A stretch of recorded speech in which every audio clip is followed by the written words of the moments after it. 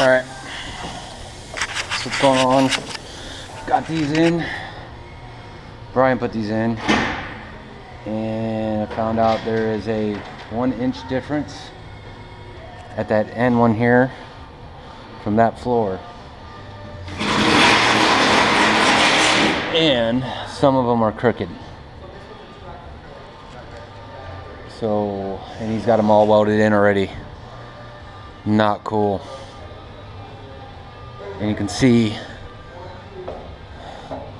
the space here is wider than the space here. Rookies. So I think we're gonna have to tear everything down.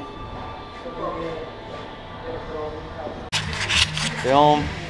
Film. Filming, There's Brian. rolling, Rolling. Rolling. All right, I'll shoot. You explain.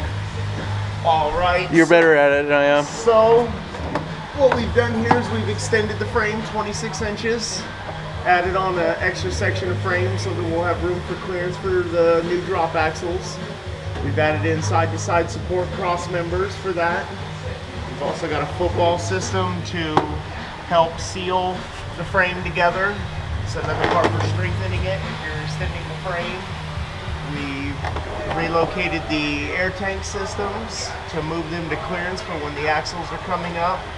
We've added the rear cross members for the large uh, high pressure drop airbags right here in the front. So this will be one axle section. We left the third axle section that they've had already installed, so we're just going to use that for our fourth axle system. So we pretty much didn't have to do anything here. The air tank was in the right spot. Then back here, we also had to add in cross members also. We had to actually modify one of the trailer cross members to clearance it due to these things getting loaded with such extreme amounts of weight. We've added cross members all the way through the front to back here. Relocated this air tank also. Built new brackets for them so that they're all sturdy. And then this here is our third axle cross member for the big drop axle bags also. And that is how you put everything together to hold that many axles. I had to rebrace these because these ended up right on top of a cross member. So when this cross member goes down to bend from a load, hopefully it'll brace this up even more so this doesn't bend and throw off the cross member for the rear axles. Basically just boxing it in so that if that taps down and it touches it, it won't crease it or bend it. Just a little something to strengthen them a little bit more. Maybe hopefully uh, prolong the life of the uh, cross members.